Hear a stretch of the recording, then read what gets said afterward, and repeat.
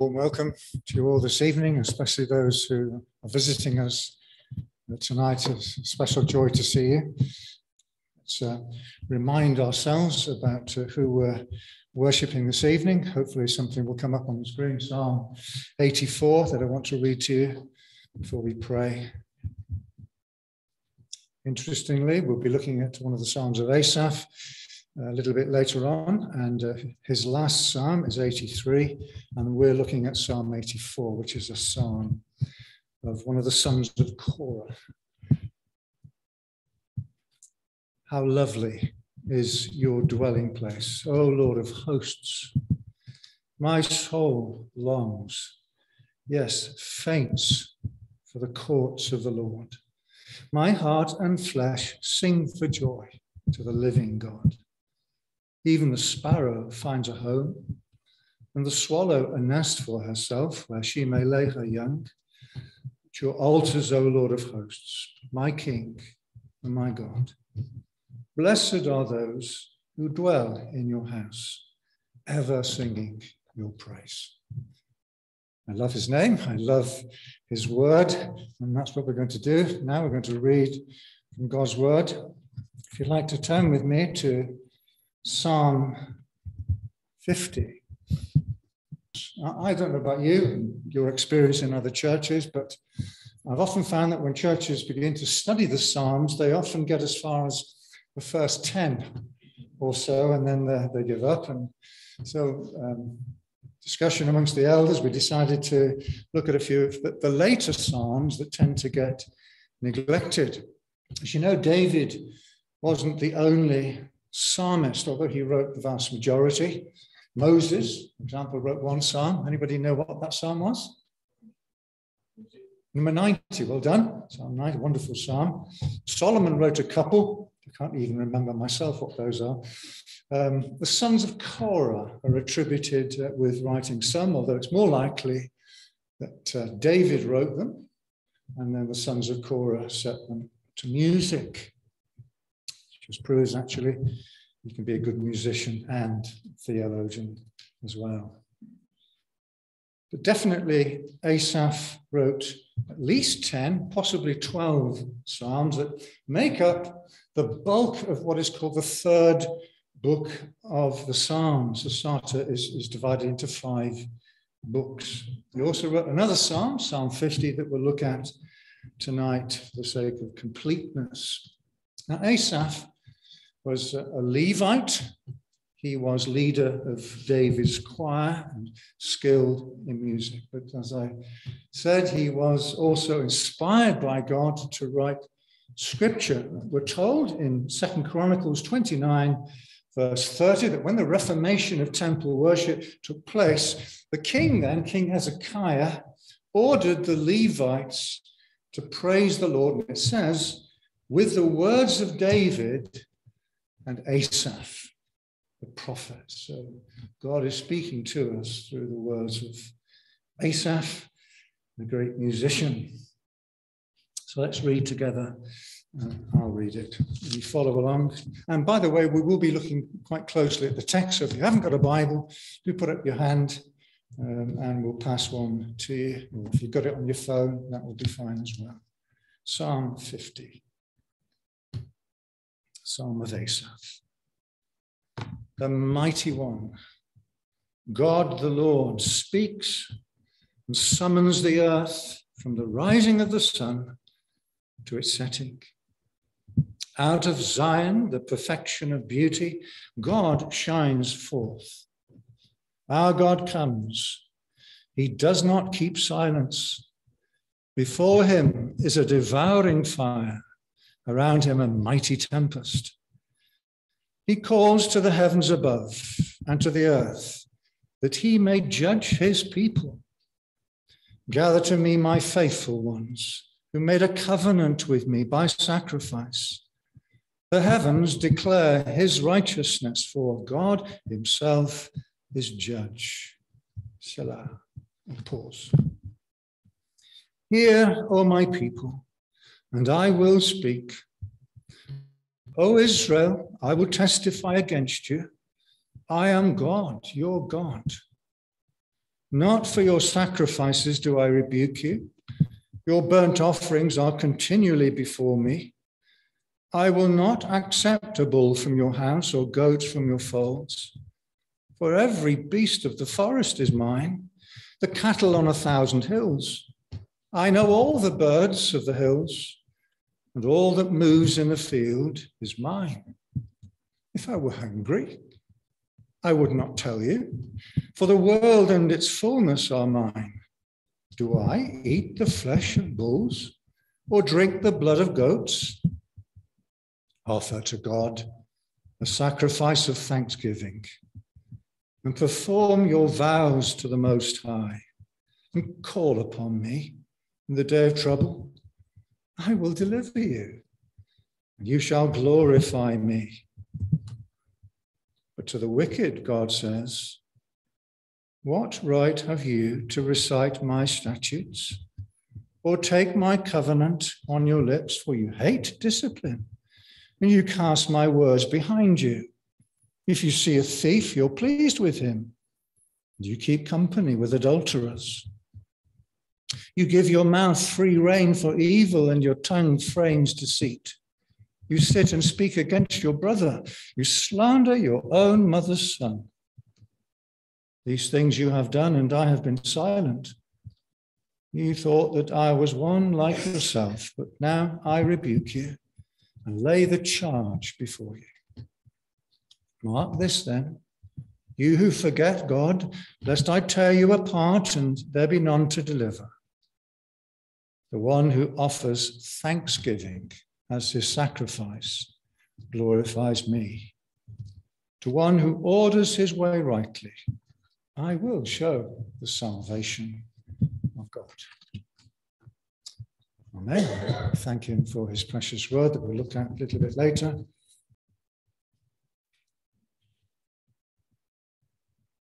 I'm very conscious of God, of our own failures and sins, we do feel or the, the gentle rebuke of the Holy Spirit, pointing out these things in our minds and hearts, even as we come to worship you tonight. Our only plea is that blood of your Son, Jesus Christ, the Lamb of God, takes away the sins of the world, was also shed for me for us. Lord, we thank you for that reminder this morning that Abraham saw your day, Lord Jesus, rejoiced in it, and put his faith in the one who was to come, that lamb provided by Jehovah Jireh. We look back, we're able to see the fulfillment of all your wonderful plan of redemption. So we thank you that our Lord Jesus Christ was willing to go to Calvary. You did not spare your only Son, Father, laid our sins upon him so that we could be free, so that we could know you and rejoice in a relationship with you and know that we have a, a city that is in the heavens and will one day come down from heaven. On a renewed earth, we'll dwell with you in glory and holiness. There'll be no more tears, no more suffering, no more sin, and no more death. How wonderful that is. And we give you our thanks and our praise. Oh God, we thank you that you have invited us to come and bring our request to you. We pray for our daily bread, even. We thank you that you've given to us our daily food, even, even animals to eat, and grass and wheat to make bread, and fruit to enjoy. We pray that we would be those that look after the good things that you've given to us, and we would be generous with all that you've given to us. Pray that we'd not be anxious remember that as you care even for the little sparrows that are worth only a penny, not even a penny, yet uh, you care for us much, much more because we're made in your image and redeemed by your Son. Very thankful today, Lord, that we live in a country where we still have free speech and we're able to say what we believe in word and in print. And we pray that that would continue to be the case. That evil men and women would not want to stop the proclaiming of your word, the meeting of your people.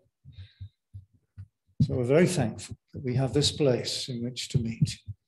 Very thankful that uh, we can go into all the world and preach the good news. We pray then for courage this week to do that wherever we are. Be with us in our work. Help us to do our best to be good employees and employers and colleagues and fathers and mothers and grandparents and children and grandchildren. Lord, if we name the name of Christ, we pray that we would not bring any dishonor to your name, Lord. As a church as well, we pray that you grant to us opportunities to reach out into Oadby, to all the town, and the district roundabout. We want people here in this part of Britain to hear the good news. Guide us and lead us, we pray. We pray also that your word would go into all the world. Thank you for that reminder again this morning that um, Abraham was the father of many nations that Jesus, our Savior, would save. And we think of the nation tonight again of, of Greece, in particular Rhodes. We pray for any of your people that are, stuck there or worried there, frightened. Pray that you'd watch over them, grant to them a dignified courage in all that's before us. Deliver that land, we, we pray, from idolatry. Pray that you turn the hearts of very religious people, some of them, to the true living God and bring right sacrifices unto him.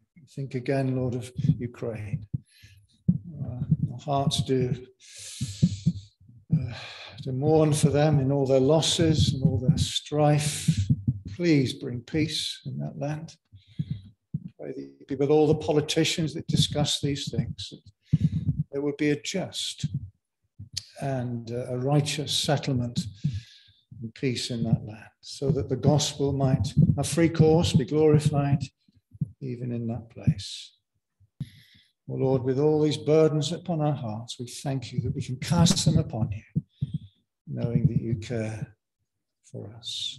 So, Lord, hear the prayers of your people, those that are unuttered, those that are just silently breathed out to you. We know that you're able to do exceeding abundantly above all that we can ask or even think. We ask all these things through Jesus Christ, our Lord and Savior. Amen. Amen.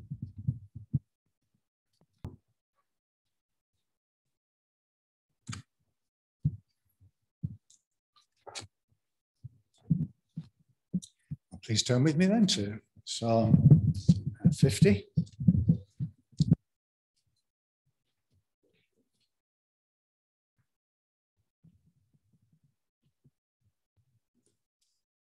You know uh, that uh, last week I was in court, not for anything I'd done.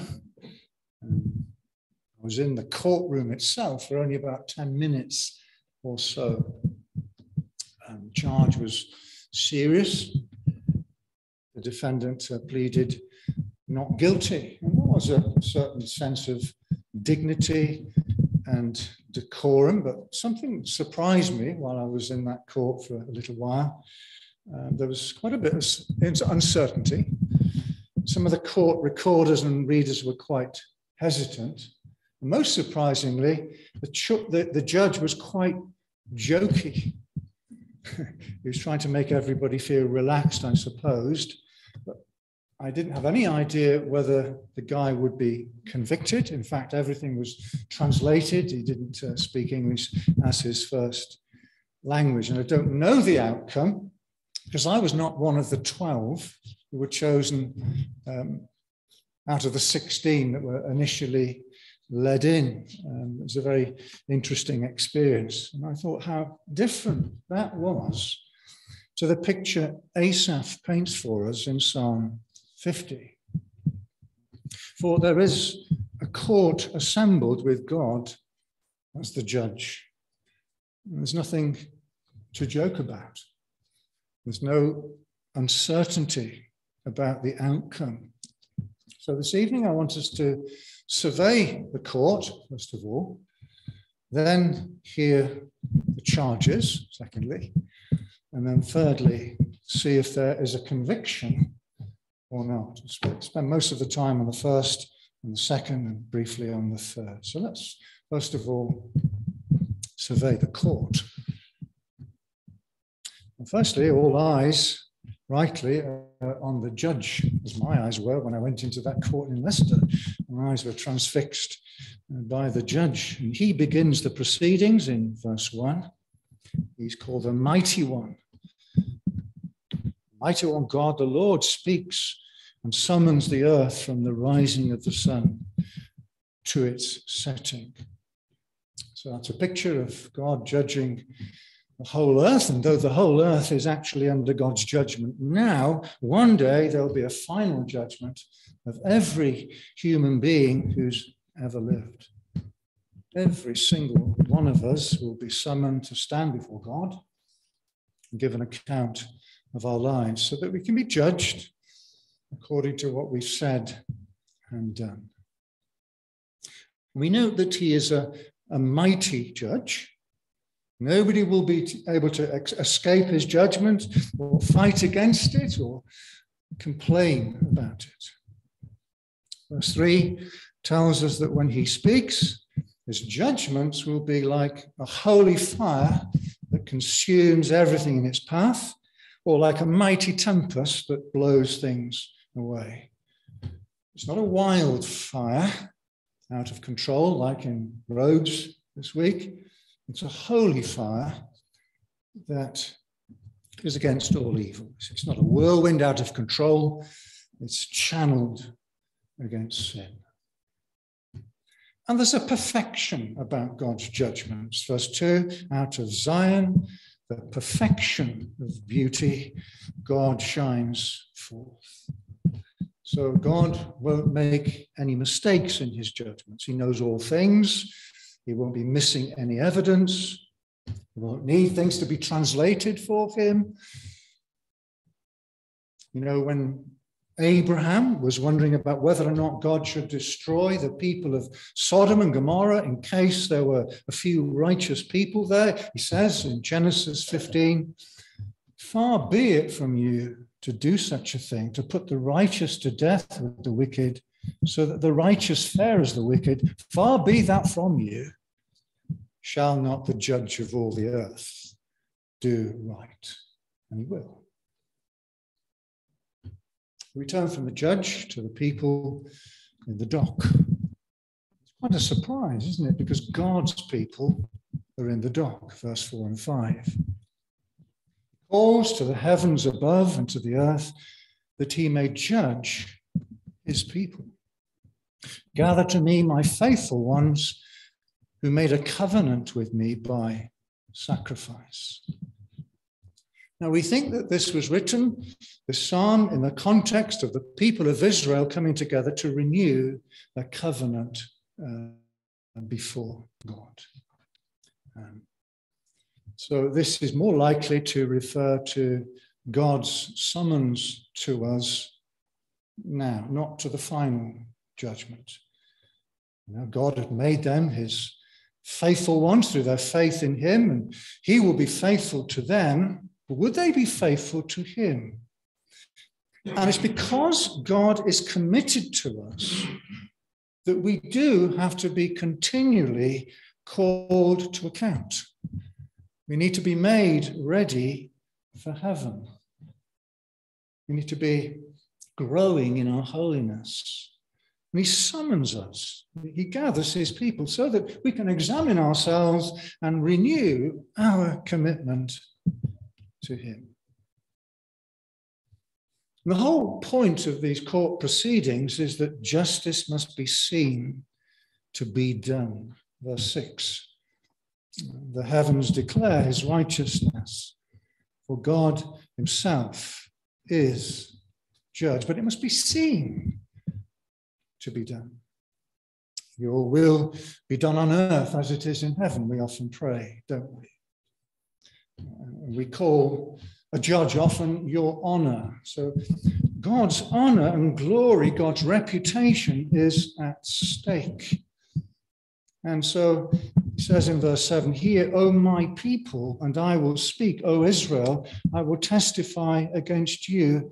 I am your God. If justice is going to be on display and vindicated, then God's holiness and righteousness needs to be seen in his people. Now, you might be saying, well, well that's a very Old Testament. What about the New Testament? Doesn't, doesn't that mean that we're, we're not subject to any judgment. Well, actually, Peter makes a very similar argument in his first letter, chapter 4. It's worth turning to if you have your Bible, Peter's first letter and chapter 4, verse 16. And he's writing to suffering people, suffering Christians. And Peter says, if any of you Christians suffer as a Christian, he argues that's, that's hard but it's okay. It's for a reason. Peter says, let him glorify God in that name. And then Peter says, but let none of you suffer as a murderer or a thief or an evildoer or a meddler. Don't you be in the dock in an earthly court for being unrighteous. That would bring dishonor to God. For he has forgiven you. He has changed you, He has sanctified you. His justice has been satisfied because Christ suffered for your sins in your place. You are God's faithful ones, my people. But here's the question Peter poses Is how you are living compatible with being a child of God? That's why Peter says, verse 17, For it is time for judgment to begin at the household of God. And if he begins with us, what will be the outcome for those who do not obey the gospel of God? Verse, verse 18. And if the righteous is scarcely saved, that's us, what will become of the ungodly and the sinner? So his argument is people are watching you to see if God is a righteous judge to see if he's a merciful judge. I am your God, I always will be. But if you're not being my faithful ones, I've got to call you out about it. And if you don't change, sometimes I'll need to discipline you in love. That's what's happening in the court. Secondly, let's think about the charges in particular. And the two main areas I want to highlight, and is the first, the charges that we often try to promote ourselves to God or before God. The people of God were returning to their default position of trying to justify themselves before God. They were bringing animal sacrifices and sort of saying, Well, God, I'm bringing this sacrifice, it's very expensive, in order to make you think the best of me. That's awful, isn't it? It's almost like trying to sway a judge or bribe him to let you off. I'm going to give you all this money to charity and to give this money to charity. And I hope you'll take that into consideration when you make your judgments. Oh, it, it's not that there was anything wrong in bringing sacrifices, at least for the Old Testament people of God. God had commanded them to do that, hadn't he? Verse 6 um, verse 8, sorry, not for your sacrifices do I rebuke you. Your burnt offerings are continually before me. But they were meant to be a continual sign that God Himself would one day provide a sacrifice for sin. One day, the, the, Lamb of God, as we were hearing this morning, would take away the sins of the world. And in verse 9 through to verse 13, he points out that he didn't need their animals, actually. They belong to him anyway. I will not accept bull from your house, it says, nor goats out of your folds, for every beast of the forest is mine, and the cattle on a thousand hills. That's beating them. That's preposterous. God is spirit. God is never hungry. No, no, what God wanted was their thankful praise and their righteous obedience, verse 14. Offer to God a sacrifice of thanksgiving and perform your vows to the Most High. I'll come back to that. The point is, it is God who should be the focus and not us. A writer called, a preacher as well, called Philip Yancey, highlights this kind of absorption with ourselves even in worship. He references Soren Kierkegaard, who warns us about how we sometimes think of church as a kind of theatre. We sit in the audience, attentively watching the actors on stage. I suppose the preachers, really, although I'm not acting. And if sufficiently entertained, we show our gratitude with applause. It's all about us. And we'll be tired if the preacher goes on too long. But you see, God should be center stage. He is the one we should listen to. He is audience for our worship. God is not so concerned with what goes on externally on stage, but what takes place within our hearts. And Yancey says this we should leave a worship service asking ourselves not what did I get out of it, but rather, was God pleased with what happened? So we need to ask ourselves would God be pleased with what's been going on in our hearts today in our sacrifice of worship? And then in verse 15, uh, we see another aspect of self promotion, and that is our self sufficiency. And he draws attention to something that apparently the people of Israel were not doing. Verse 15 Call upon me in the day of trouble. I will deliver you, and you shall glorify me. And again, it seems they thought that by bringing their animal sacrifices, God would get them out of trouble. No, that didn't glorify God because it emphasized what they can do. That, that I deserve to be helped and heard and delivered because of my offering. No. It's as if God is saying here, it will glorify me if I'm known as a God who helps the helpless, and known as the one who helps those who acknowledge their helplessness. I love the way uh, Charles Spurgeon illustrates this. And when he was preaching on Psalm 50, verse 15, and he did so a number of times actually, so it shows it was important to him. Well, he preached a sermon in 1876, and the sermon title was Robinson Crusoe's Text. And he explains how Robinson Crusoe was the guy who'd been shipwrecked. He's left on the desert island all alone to fend for himself. His case is a very sympath- very pathetic one. And he goes to his bed and he's struck with fever. And Crusoe's fever lasts for a long time. And he has no one to wait on him, no man Friday at that time, nobody even to bring him a cup of cold water. And he's ready to perish. He'd been accustomed to a sinful life. He had the vices of a sailor, says Spurgeon.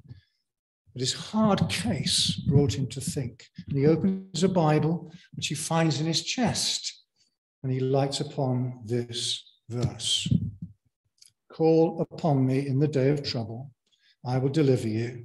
You shall glorify me. And apparently that night he prayed for the first time in his life and ever after that. And there was in him a hope in God which marked the birth of his heavenly life. Isn't that lovely? Now imagine if Crusoe had said, Right, it's up to me to get myself out of this mess. I'm an ingenious bloke. I'll get myself out of here and I'll become a celebrity. No, no. We need constantly to be telling ourselves, I can do nothing without Christ. That's what Jesus said. Without me, you can do nothing. So call upon me in the day of trouble. And that's what we're not doing. I thought we're doing that.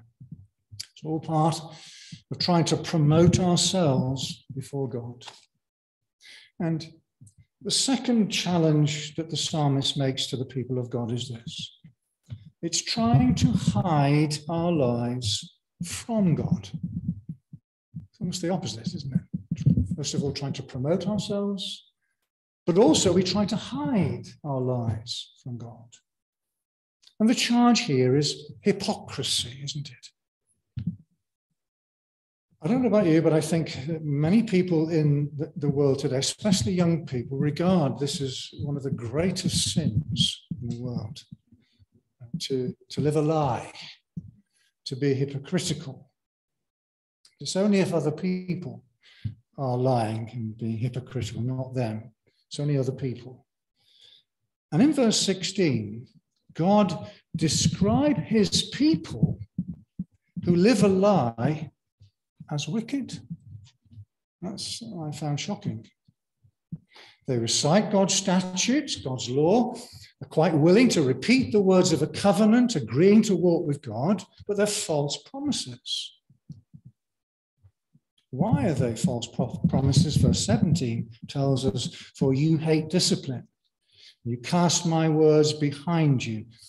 In other words, as soon as something challenging happens to our lives, we think it's okay to forget our vows and do what's easy and not what's godly. And there are specific charges that God demands the people answer. Briefly look at them, verse 18. If you see a thief, you're pleased with him. So this is turning a blind eye to theft, even being complicit, maybe handling stolen goods, maybe asking for a cash in hand price. And he says, You keep company with adulterers. Of course, that's not saying that adulterers can't be forgiven. Of course they can. They can be saved as well. And I think James, in his letter, expands what this means actually. James 4, verse 4, he says to Christians, again, you adulterous people, do you not know that friendship with the world is enmity with God? Therefore, whoever wishes to be a friend of the world makes himself an enemy of God. And the psalmist is saying, don't you think God can see all that? Why are you trying to hide? your life from Him. And they somehow think that God doesn't hear what they say. But of course, God knows what we think. Verse 19 You give your mouth free rein for evil, you, your tongue frames deceit. You sit and speak against your brother, you slander your own mother's son. And maybe the worst thing what lies behind all their wickedness is bringing God down to our level, thinking that God is just like us. Verse 21. These things you have done, and I have been silent. You thought I was one like yourself. In other words, uh, that somehow God is turning a blind eye to what he sees. But now I rebuke you and lay the charge before you. We know this, don't we? We keep telling ourselves this the Lord knows our hearts. Jesus said, The things that come out of the mouth come from the heart. These make a man unclean, for out of the heart come evil thoughts, murder, adultery, sexual immorality, theft, false testimony, and slander. when our lives do not match up to our profession. I'm not talking now about occasionally sinning, which we do. We confess our sins. I'm talking about habitually not walking the walk, not showing people that we are God's people. It's a sign that we've forgotten God, forgotten our vows to live for his glory. Somebody said um, there is a long interval between the lightning flash and the thunder peal. So Paul says, Let the one who thinks he stands take heed, lest he fall. You see, this is, this is God graciously giving us a, a warning. It's, it's the lightning flash before the thunder peal. So there we are. The, we've seen the court, we've seen the charges, and then thirdly, the conviction, because after all we've heard, what is the verdict? It's obviously guilty. All have sinned and fallen short of the glory of God. There's no one righteous, no, not one. God's words here have convicted all mankind. We've heard the thunder, and thunder is a sure sign that a storm is coming. So, what's the answer? How can we shelter from the storm of God's judgment? Well, we've seen that it's not by trying to hide our lies and our faults from God. It's not trying to promote ourselves before God by offering animal sacrifices as if, as if we can twist God's arm. Now, the answer is in verse 23. The one who offers thank